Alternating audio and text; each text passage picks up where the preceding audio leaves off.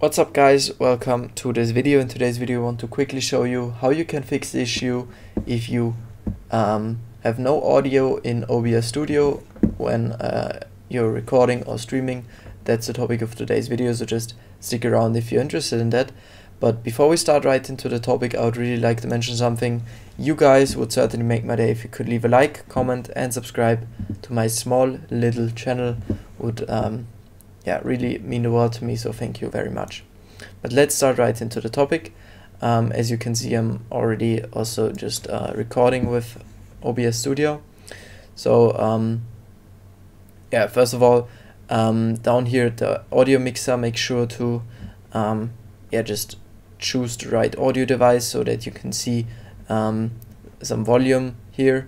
Um, so first of all, at your mic, click on the settings here and click on properties. And then at the device, just select the right device that you want to use and on OK. And the same thing for desktop audio, just click on settings, properties, and then select where you are also dis displaying your um, desktop audio. So in my case, it's my headset Sharkoon SB1. Click on OK. And then um, you can already check if your mic uh, volume is uh, showing here.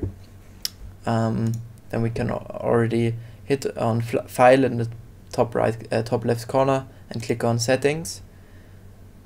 And then um, switch over to audio and here the same thing.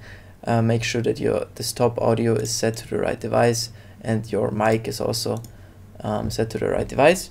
Then uh, meters, I would set the decay rate to fast, the peak uh, meter type to sample peak, monitoring device default, disable Windows audio ducking.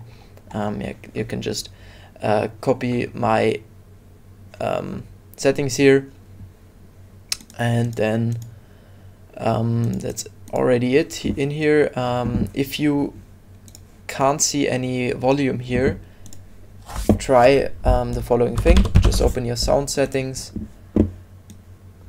and then uh, scroll down until you see more sound settings. Click on this here and then switch over to recording and here select your audio device, your mic that you want to use in or that you also, use in OBS and then click on set, uh, properties and switch over to levels. Make sure that this isn't muted here and set to a normal level and at advanced section, um, first of all, I would always suggest you to use the best quality.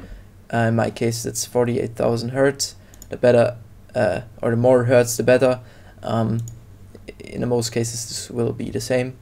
Um, and then I would always suggest you to try exclusive mode, um, set both of, bo uh, check both of these settings, and then click on apply, and click on OK, and click on OK, and close this one and then um, you should see some volume here and it should work again that's it um, really hope this helped you guys if you have got any questions regarding this topic just uh, let me know in the comment section below.